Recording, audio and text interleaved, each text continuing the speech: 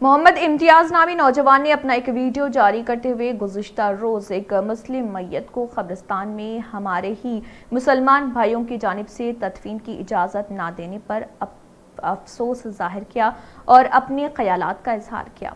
देखिए इम्तियाज़ का क्या कहना है। वालेकुम रहमतुल्लाहि वरकatuh दोस्तों, मैं मोहम्मद इम्तियाज़ आपके सामने चंद बात रखूँगा। आप लोग ज़रूर इस वीडियो को पूरा सुने और ज़रूर आप इस वीडियो को समझ कर तमाम मुसलमानों तक मेरी बात को पहुँचाएँ। मैं खसूस ये वीडियो सिर्फ़ हमारे मुसलमान भाइयों के लिए है। आप लोग इस वीडियो को समझिए और कभी ना कभी ऐसा वक्त हमारे पे भी आएगा तो हम लोग हिम्मत ना हारें। जैसा कि आप लोग जानते होंगे कि ख़वातीन अपने बाप के मैयत मैयत को लेकर जो पूरे घर वाले जो परेशान हैं, जो मैयत को दफनाने के लिए, हमारे ही मुसलमान की मैयत को, हमारे ही मुसलमान लोग खबरस्तान में दफनाने के लिए इजाज़त नहीं दे रहे। क्यों? यही बात है कि ये आप लोग यहाँ के नहीं है, आप लोग ओल्ड सिटी के हैं तो ओल्ड सिटी में जाइए। कितनी अफसोस की बात है, इन हरामियों को अल्लाह बेहतर जानता है, इन लोगों को ज़मीन मिलेंगी या नहीं मिलेंगी, ये पता नहीं। और आप लोग गौर करिए, हमारे सलीम कुरैशी साहब एक बात बोले थे कि कोई भी किधर का भी रहना मुसलमान, अगर इन्हें यहाँ मरा है तो इन्हें कहीं भी इसको दफना सकते बोल के बोले थे ये बात। ये बात तमाम तेलंगाना की और हैदराबाद की आवाम अच्छी तरीके से जानती है और ये बात मौजूद है तमाम वीडियो पर। आप अच्छी तरीके से जानते हैं, एक वक्त था, लॉकडाउन के वक्त पर हमारा एक मुसलमान आदमी, जो करनूल का वाक़ था, उसको मुसलमाना, मुसलमान के खबरस्तान में जगह नहीं दिए थे। वो गैर मुस्लिम खबरस्तान में उसको जगह दिए थे, वहाँ पर उसको दफनाए थे। लेकिन आज हमारे ही मुसलमान फिर से वही एक तकरीबन आठ या नौ महीने के बाद फिर से ये वाक़ आया है, हमारे मुसलमाना, खुद मुसलमान की मैयत को, उस मैयत को दफनाने के लिए इजाज़त नहीं दे रहे। ये क्यों इजाज़त नहीं दे रहे? ये लोगों का ज़मीर मर चुका है और इन लोगों के दिलों में से अल्लाह का डर ख़त्म हो चुका है और ईमान भी नहीं है इनके दिलों में। अगर हकीकत में अगर रद्दी बराबर का अगर ईमान होता तो ये लोग वहाँ पर उस मैयत को दफनाने देते थे।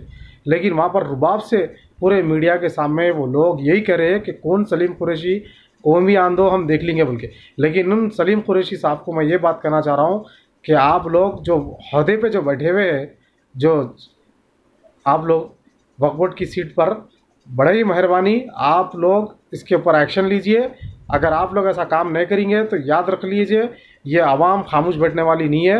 इन जब तक हम ज़िंदा है, आवाज़ उठाते रहेंगे। और मैं तमाम मुसलमानों से मैं गुजारिश कर रहा हूँ, आज वो लोग के घर वालों के ऊपर हादसा आया है।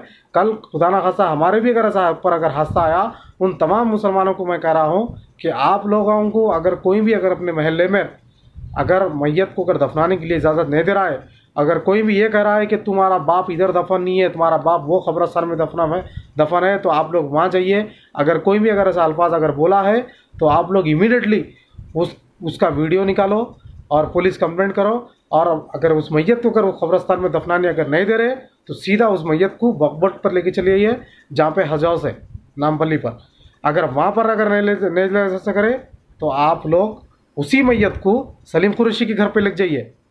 जब ही ये लोगों को पता चलेगा कि हम लोग क्या कर रहे हैं, सीट पे बैठ कर और ये नाजायज़ ये लोग, जो इन बड़े बड़े मिनिस्टरों का जो फ़ायदा जो उठा रहे हैं, ये लोग, जालिम लोग ये लोगों पावर पर आज हमारे ऊपर हावी हो रहे हैं ये लोग। और ख़बरस्तानों पे खुद साले कब्जे, कब्ज़ा कर कर कर कर कर कर, एक घर होना चाहिए ख़बरस्तान में। वो किसका घर होना भाई? जो निगरानी जो कर रहा है। आज कई खबरस्तानों में जाके देखो, हरा, सालों के घर चार चार पाँच पाँच बने हुए क्या एक खबरस्तान को लोगों का चार चार पाँच पाँच जने इस निगरानी करेंगे? एक एक खबरस्तान को? खबरस्तान इतना बड़ा, इतना छोटा हो जा रहा है कब्जे कर, करके कर, करके, फिर बोल रहे हैं ज़मीन नहीं मिल रही है। अल्लाह बेहतर जानता है, इन हरामियों को दो गज़ ज़मीन भी नसीब होंगी या नहीं अगर खुदा ना खासा अगर इन लोगों को दो गज़ अगर ज़मीन मिल भी गई तो अल्लाह इन इन जालिमों को ज़मीन के अंदर से निकाल कर फेंकेगा। ऐसा वक्त आएगा। उस औरत की बदवा मत लो, हरामियों आप लोग तुम लोगों के दिलों में से ईमान तो ख़त्म हो चुका है। बड़ा अफसोस हो रहा है वो वीडियो को देखकर, वो औरत बेचारी इतनी रो रही है अपनी बाप की मैयत पर, लेकिन इन जालिमों के दिलों में ज़रा रहम नहीं आ रहा। खैर, मैं तमाम मुसलमानों से गुजारिश कर रहा हूँ कि आप लोग, अगर आप लोग के साथ भी अगर ऐसा हुआ है तो आप लोग भी आवाज़ उठाओ और इस अपनी मैयत को अपने घर में कहीं भी कभी ना कभी किसी ना किसी को मरना है। कोई भी अगर इजाज़त नहीं दे रहा है, सीधा हजाज को लेकर चलिए मैयत को। नहीं तो सलीम खुर्शी घर पे लेके चलिए बात की बात जो होता देखेंगे।